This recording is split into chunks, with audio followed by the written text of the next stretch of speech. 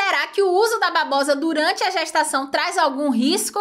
Como você deve saber, a babosa é muito utilizada na indústria da beleza, mas será que ela é segura para ser usada pelas grávidas? Primeiro, vamos entender um pouquinho sobre as suas propriedades. A aloe vera é popularmente conhecida como babosa, é uma espécie de planta suculenta do gênero aloe. Ela é rica em vitaminas, minerais, compostos anti-inflamatórios, o que a torna um excelente aliado para os cuidados com a pele e também para os cabelos. Além disso, a babosa também tem propriedades cicatrizantes e hidratantes, o que a torna uma planta muito utilizada nos tratamentos estéticos e também em uso domiciliar. Quem é que nunca utilizou uma babosa, nem que seja para hidratar os cabelinhos?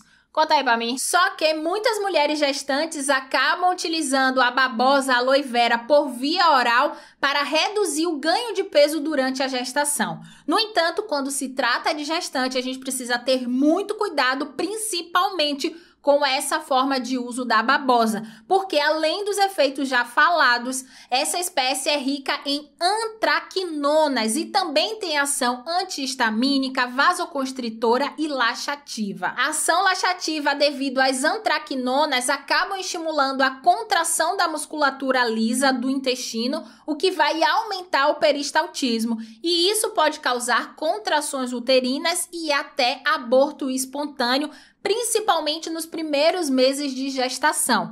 Algumas literaturas ainda relatam risco de hemorragias e falam que ela é citotóxica. E no uso tópico, a babosa pode causar algumas reações alérgicas, o que pode ser bastante desconfortável. Muitos atribuem os efeitos negativos da aloe vera a uma substância chamada de aloína ou também conhecida como barbaloína pela presença desse composto, em 2002, a FDA proibiu o uso da babosa nos Estados Unidos, principalmente pelo motivo das empresas que faziam uso não apresentarem os dados né, de segurança necessários. Aqui no Brasil, a Anvisa, em 2011, emitiu um informe técnico que proibiu o comércio de produtos de consumo à base de aloe vera só que depois, né, as empresas elas conseguiram uma liberação ao provarem que seus produtos não prejudicavam a saúde e tinham rigoroso processo de produção, estabilização e armazenamento. Mas eu reforço, se for algum produto por via oral,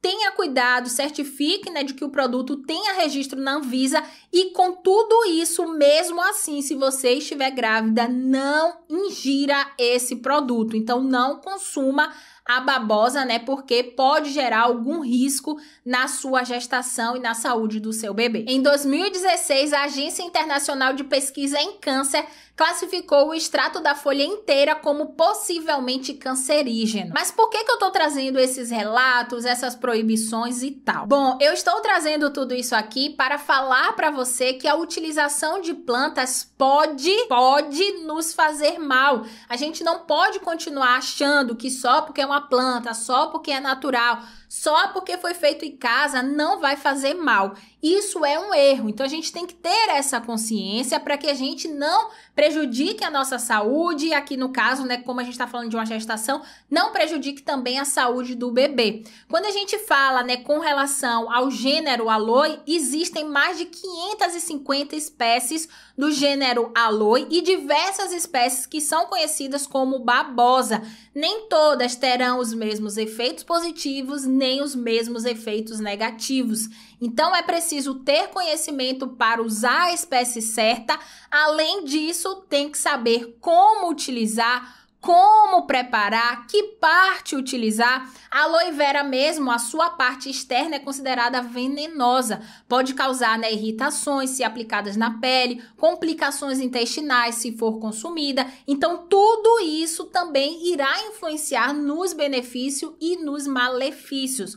Por isso, muito cuidado com os preparos caseiros. É preciso ter conhecimento para que isso seja feito. Então, muitas vezes a gente vê uma banalização. Muitas pessoas aprendendo na internet ou então sem aprender, pega lá a planta, né, faz as coisas em casa, utiliza e aí depois não sabe, né, o que foi que aconteceu que gerou determinado malefício. Então é importante que a gente tenha essa consciência e a gente utilize, né, os produtos com segurança e da forma correta. Então, se você estiver grávida ou se você estiver pensando em engravidar, evite o uso da babosa durante a gestação, principalmente por via oral, realizar a ingestão da babosa. Não faça isso.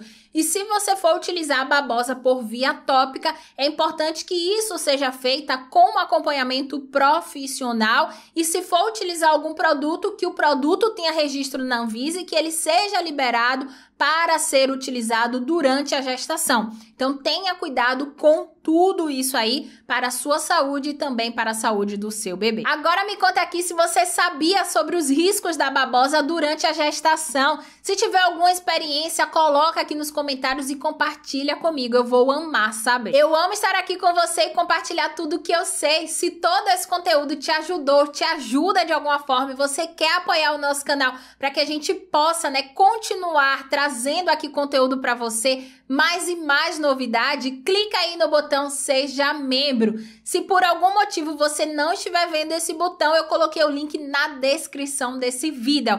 Então rola o vídeo um pouquinho para cima e clica lá no primeiro link para você poder apoiar o nosso canal. Se você é estudante ou profissional da área da estética e quiser aprender mais comigo, abaixo desse vídeo na descrição também eu deixei lá vários links. Tem curso, tem consultoria, tem e-books, tem assinatura. Dá uma olhadinha lá, vê o que mais te interessa, clica e vem ser minha aluna. Antes de sair desse vídeo, deixa aí o seu like. O seu like me ajuda muito, fortalece o nosso trabalho e faz com que esse conteúdo chegue para mais e mais pessoas.